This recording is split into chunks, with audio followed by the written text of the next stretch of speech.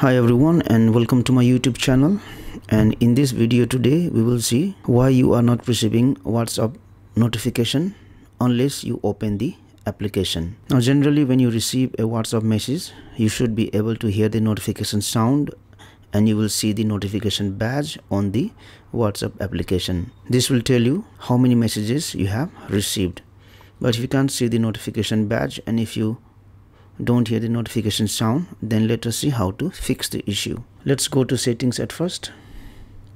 Scroll down and go to apps. Make sure to select all apps here.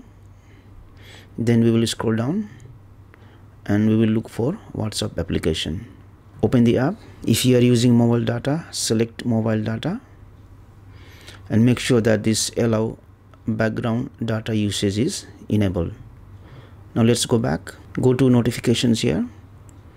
Make sure that show notifications it is enabled. Also app icon badges it should be enabled. Show notifications it should be enabled. Group notification sound it will it should be enabled if you are a member of a group. And also make sure message notification sound it is enabled. So make sure to enable all these settings under notifications now you can also do some other troubleshooting tips. Again go to settings here. Okay let's go to apps. Tap on the three dotted icons here and select reset app preferences.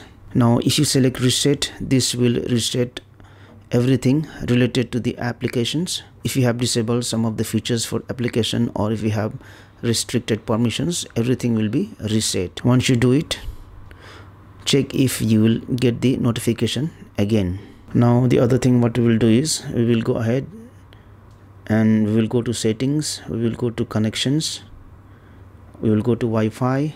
Let us select these three dotted icons here advanced and make sure that this Wi-Fi power saving mode it is disabled. Now the last thing what we will do is we will check if do not disturb mode is activated in our device. So for that one we will open the control center here.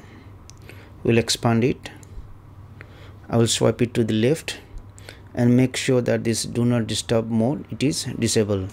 If this mode is enabled then you will not hear the notification sound even though you will get the notification. Thank you for watching this video. Please like and share this video if you found it helpful. Also click on the subscribe button and hit on the bell icon to get the notification of our latest videos for free